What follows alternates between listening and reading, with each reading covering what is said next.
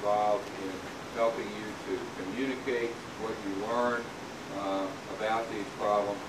and to make the arguments in the right fora um, for the resources that will be necessary uh, to do the things that, that you all want to do and that the, the soldiers and sailors and airmen and marines who, uh, who work for you want to do on behalf of, uh, of their nation. I looked at the program, uh, and I know you have a number of, of very important issues. Uh, frankly, I saw some, uh, I saw a couple of things that, uh, that I was asked to, to talk about, and I knew how little I knew about them, so I decided I would at least uh, avoid total embarrassment by not trying to talk about proponency and, uh, and a few other complicated uh, sort of things. I don't mean to say they're not important. Um, I'm sure they are. I just don't know enough about them to uh, uh, to make any uh, any kind of a contribution. But I did see two things that I thought um, I might uh, I might say a couple of words about that I that seemed to me to be uh, to be very interesting and, and very challenging issues. And the first had to do with uh, functional specialty. And as I understood it, the question that was going to be asked was, you know, are there a sufficient number of militarily qualified civil affairs personnel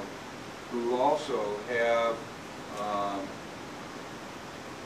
qualifications and, and experience and ability in things like public administration public safety, public health, civil engineering, et cetera, et cetera. The, the technical sorts of things that we think of in terms of uh, providing uh, providing assistance to commanders at, at certain stages of a uh, of an operation. Uh, I suspect that they, again, this is probably one of those things that gets back to yes, we have all of that, but do we have enough of it for just a single surge? or do we have enough of it to sustain ourselves, again, year after year after year? And my, my guess is that the answer to the second question uh, might be no. And so that would lead me to think, okay, if we don't have it in uniform, where will we get it? Or if we don't have it in the Department of Defense, where will we get it? What, uh, um, what, are, what are our alternatives? And one of the things that we have posited is the idea of a new kind or a, a different kind of reserve. You had an operational reserve, you had a strategic reserve, and both of those clearly you're thinking about people in uniform with short haircuts or relatively short haircuts and, uh, you know, past PFT and all of that kind of stuff. What's the prospect of a third kind of reserve a reserve of civilians who uh, don't wear a uniform, um, who, who don't take the PFT necessarily, but who said, if you need me in, in wartime and you need me to perform my duties as a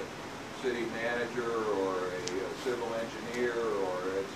you can, you can name the specialty, what if we had a, a database of people like that that we could call into uh, call into service. I think if you look back to World War II,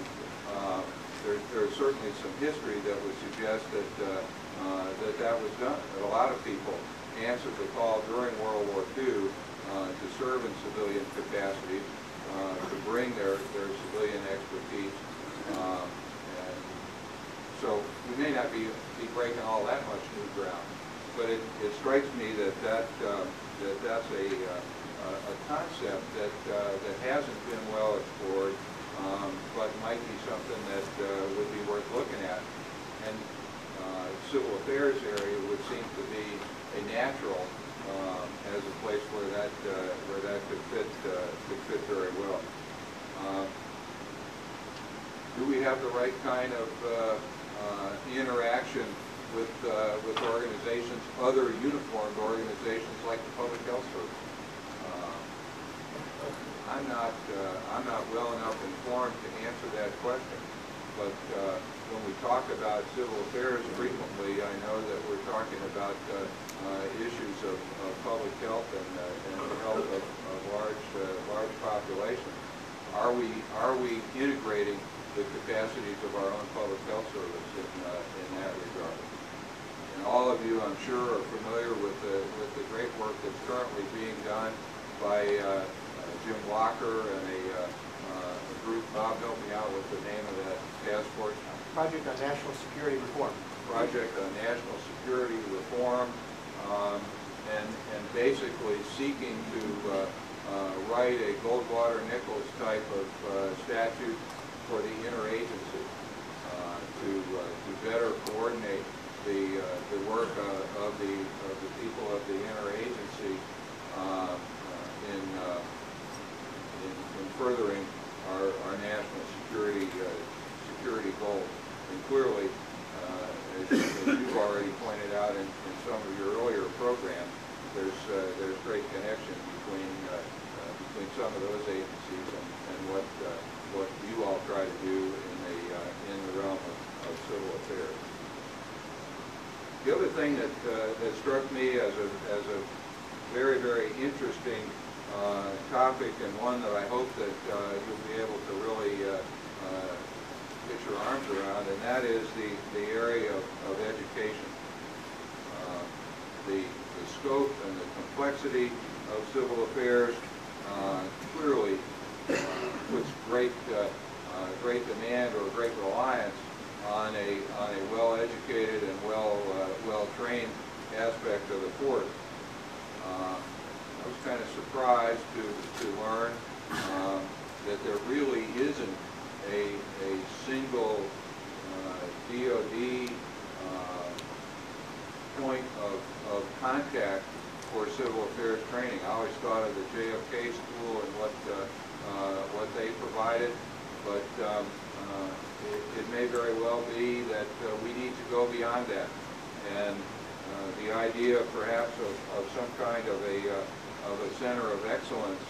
uh, is, uh, is one that it seems to me uh, should, uh, should be explored. Uh, You know the challenges uh, better than, better than I do, but getting a,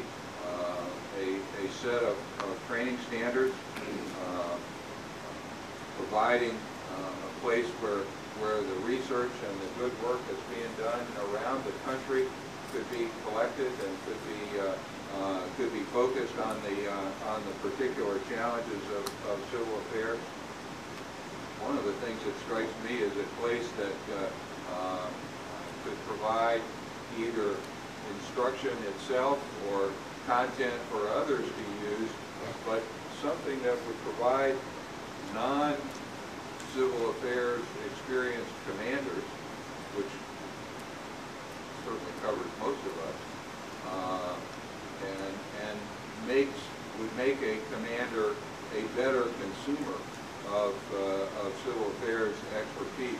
and give an opportunity for, for, for senior commanders at, at various points in their career uh, to come in and, and get a, uh, uh, get a relatively short course on, on what they should expect from their, uh, from their civil affairs officers and what, uh, uh, what some of the, uh, what some of the possibilities are. Told that, uh, uh, you know, there, there are a number of possibilities and perhaps a number of things that are already in, in, in process. Um, The, the, certainly the Peace Operations Policy Program here at, uh, here at GMU is, uh, is a potential place where, where something like that could, uh, could be created. Uh, James Madison's uh, um, emerging program uh, for a, uh, to provide a master's degree would, would tell you that there might be, uh, might be a prospect to do it there. Um, Certainly the uh, uh, Naval Postgraduate School or, or some of the other uh, uh, institutions that, uh, that are already in existence uh, in the services might, uh, might be uh, candidates to, uh, uh, to host and develop a, a program like that. Uh, But someplace, it seems to me, a, a civil affairs center of excellence is a, uh, is a goal that, uh, that ought to be, uh, ought